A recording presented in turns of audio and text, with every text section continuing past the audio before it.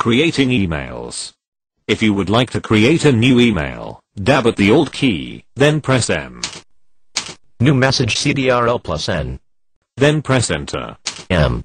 New message. Type the email address of the person you are writing to and press the Tab key twice. Zara May at hotmail.com.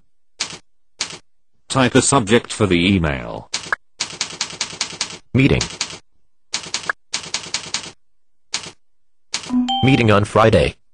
Press the Tab key and write your message. Dear. Zara. I am sorry, but.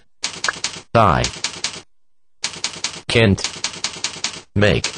It. On. Friday. Full stop. What? About. Meeting on Monday? Maria.